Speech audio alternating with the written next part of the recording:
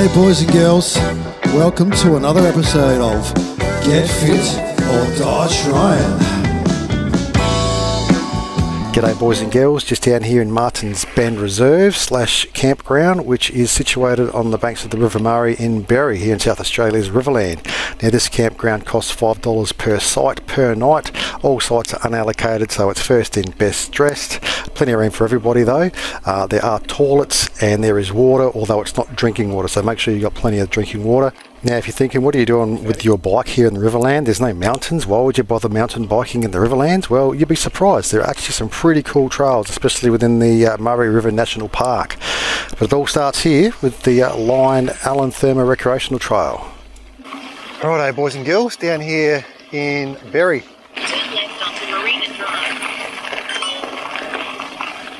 Alright, so I've got navigation going on here, but I don't know how well it's going to go. I don't usually navigate with Ride with GPS that much. But anyway, just going to explore about 45 odd Ks of trails to do. So nice little spot through here actually.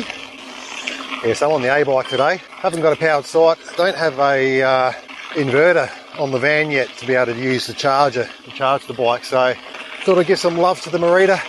So there's no cheating today. Pretty nice scenery through here though.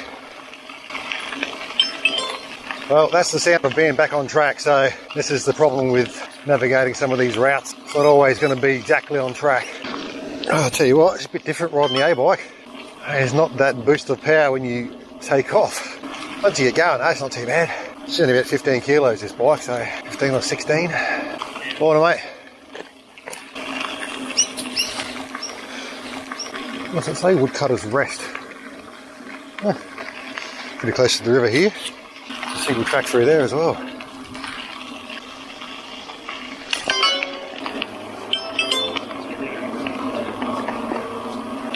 Ah, so this is the big caravan park.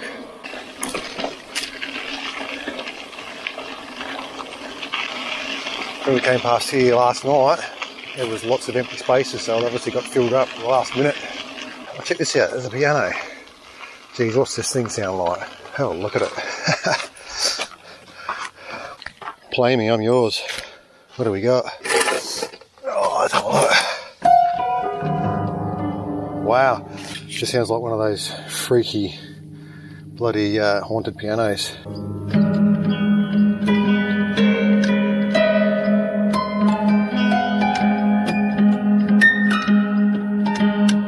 Hmm, that is hauntingly scary. So it looks like here's one of the uh, major pumping stations. Yes, and if it wasn't for these things, there would be no agriculture out here because it's pretty much a dry red desert sand and mallee scrub. Um, so yeah, plenty of water getting drawn out of the Murray to feed all the orchards and the vineyards in the area. And there's plenty of these around the place. Oh, here we go. So we're coming into the uh, River Murray National Park.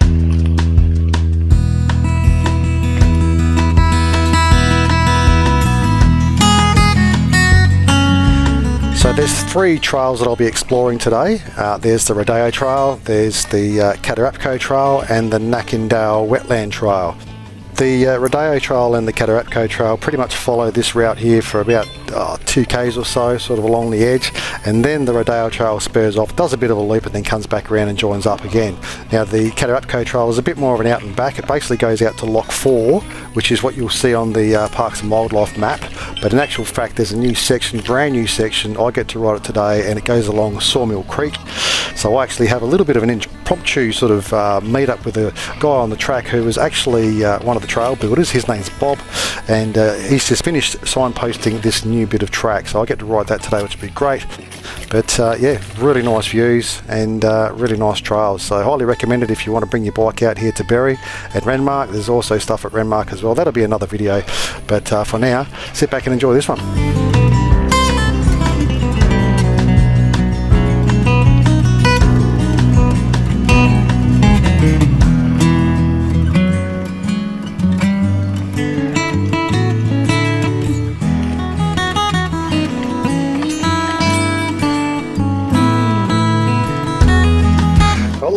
Worry about any uh, battery anxiety today.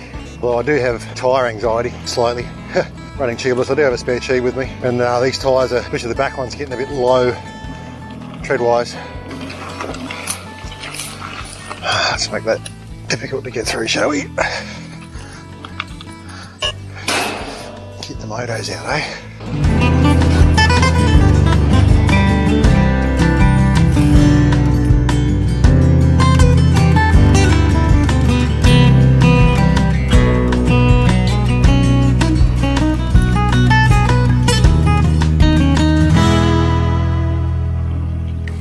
More single track around the place too, eh? So what's it like riding the analogue bike after all these e-bike rides? Well, pedaling above the motor, or with no motor, it's definitely easier. The bike is probably about, oh, she's nine kilos lighter, and um, tyres are a bit narrower. Not too bad really, I don't know what speed I'm doing. I have no idea. Oh, we're back on here now, are we? Right, eh? So I found with me riding on the e-bike, my average speed is probably around about 5 k's faster than it would be on the analogue bike. I guess I can maintain that 25k uh, speed limit a lot longer with assistance as opposed to the e-bike, which is all leg power. Gee, that's handy having a big tree root right there. What's all that about? Catfish Reach, built with a K.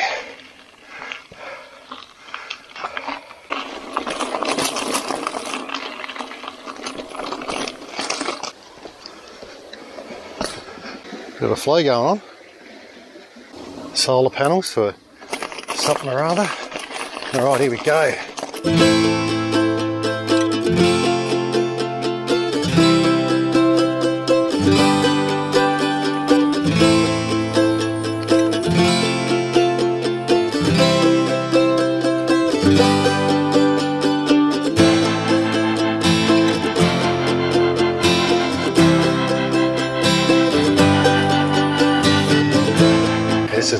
Here. Nice bit of single track.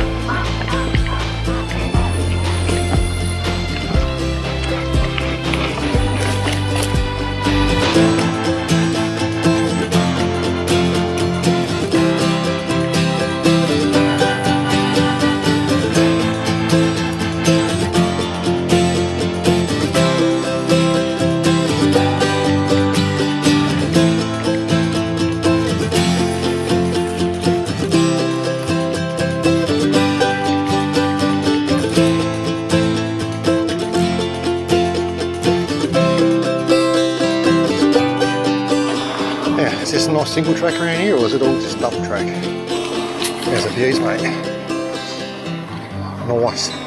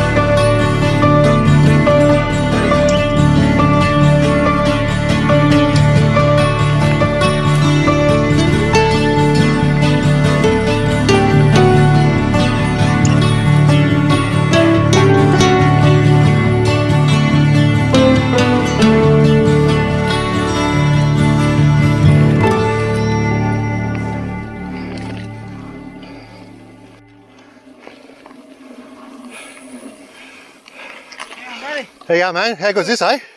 You like it? Yeah, it's good. Yeah. Bloody brilliant. Yeah, I live here. I help make the track. Oh, really? Yeah, nice. Yeah, no, it's great. I like it. It's just so good to, you know, be so close to the water, especially going around that other part over there. Yeah. You get right in, it comes right down around near the water and yeah, got little jumpy bits there. And I'm Paul anyway, mate. Bob, Bob, nice to meet you, man. we meet every Sunday at the Berri Fire Station Okay. And we do a lap. Now give us a big map. Anywhere where there's been roads, they let us ride on. So Anyway, mate, nice to meet you. all. Good on you. And um, yeah, You enjoy it. will do. And don't think you're lost. you have got to just keep going. Yep, I like getting lost anyway. Yeah, well, I don't have to worry about my battery running out today, so it doesn't matter. all, right, all the best. Good on you, mate. See you, Bob. There you go, eh? Bob helps to uh, maintain the track, put in signposts.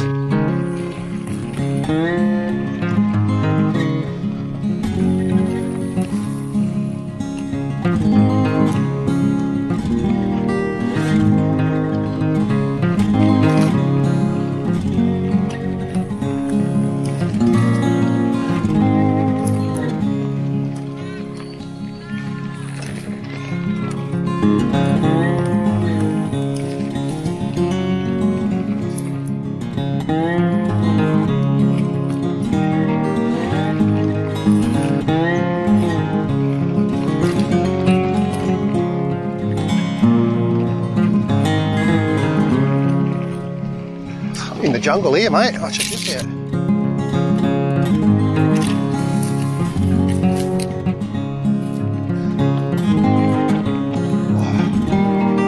I got no e-power today.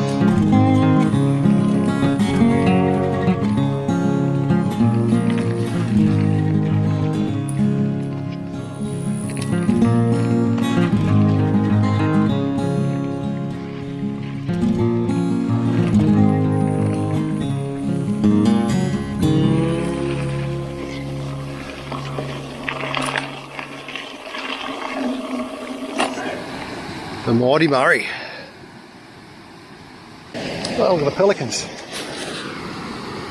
Majestic. Haha, water skiing.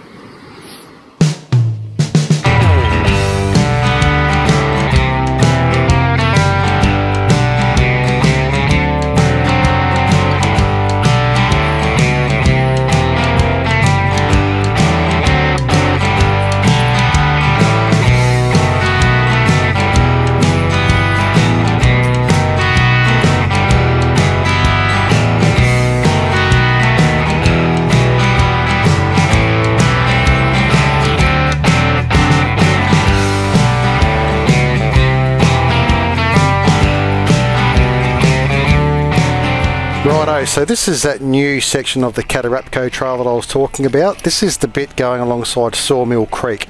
So this is literally weeks old this. It's got fresh new posts in there and as you'll see the surface isn't really worn in properly yet.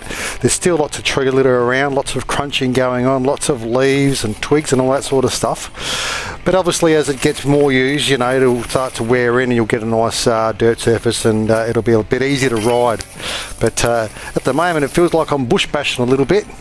So it's literally just adding like a bit of a loop section onto the uh, Katarapko Trail now. So um, rather than sort of just turning right and heading along a dirt road, you turn left, you go across those couple of uh, new bits of water infrastructure there, uh, floodgates or whatever you want to call them. And uh, yeah, then we just go down on this creek here. So uh, yeah, it does come back around to a point that I'd seen before and realised, okay, that's sort of just a bit of a loop. But uh, yeah, it's uh, interesting. Some of these parts you ride through here um, are sort of like mud flats that have gotten a bit dried, you know, and hardened up um, over the summer. So it'll be interesting to see what happens when this trail gets a bit wet.